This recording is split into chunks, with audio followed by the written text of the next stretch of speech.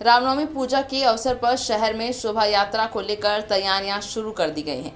Corona काल के बाद जुलूस निकालने को लेकर राम भक्तों में काफ़ी उत्साह है। रामनवमी पूजा शोभा यात्रा को लेकर रविवार को बजरंग दल के कार्यकर्ता ने राज शिव मंदिर नीचे बाज़ार रजौली में रविवार को सुबह 11 बजे एक बैठक हुई। बजरंग दल के जिला अध्यक्ष जितेंद्र प्रताप, जीतू और सचिव कैलाश विश्वकर्मा ने संयुक्त अध्यक्षता में आयोजित बैठक में भव्य तरीके से जुलूस निकालने को लेकर चर्चा की गई।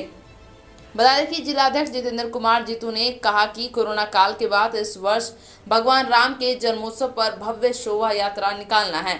इसके लिए अभी से ही तैयारियों में जुट जाएँ। बजरंग दल के संयोजक पिंटू वर्मा ने बताया कि रामनवमी पूजा शोभा यात्रा 11 अप्रैल 2022 दिन सोमवार को समय 8 सुबह बजे राज मंदिर से निकाली जाएगी।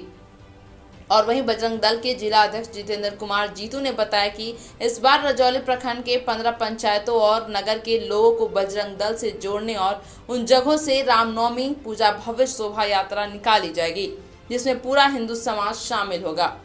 और वहीं बैठक में बजरंग दल के रजौली प्रखंड संयोजक पिंटू कुमार वर्मा, नवीन कुमार, पवन पांडे, कनक कुमार, सुमित सिंह, रवि कुमार रजौली, पश्चिमी पूर्व मुखिया भोली सिंह वरुण कुमार और दर्जनों लोग उपस्थित रहे।